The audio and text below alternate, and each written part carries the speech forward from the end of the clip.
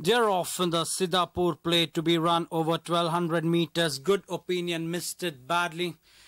On settling down, there's a rush for the early lead. It's time always in the center, and the red cap is showing out with Shimmers, who got off to a flying start this time. All great friends is nicely settled in third.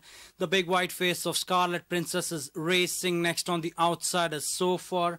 On the inside as Point. In the center is Royal Command, the grey celestial light, sporting the blinkers for the first time, is making some forward move. In behind that, we have Country's Fame. On the inside is Ruby Cube, the slow start good opinion is last approaching the last 500 meters in the center. It's time always having that slender advantage to all great friends is ranging up on the outside. Shimmers is moving on the inside pulled out on the outside now is Scarlet Princess. Even more wide on the outside there is Royal Command. Approaching the final 200 meters, it's all great friends about three lengths in front of time. Always in the center is Scarlet Princess. Inside the last 100 meters, all great friends is clear about five lengths, six lengths in front of Scarlet Princess. All great friends. Opening double on the card for trainer M. Bobby. It's going to lift about six lengths in front of Scarlet Princess. Has finished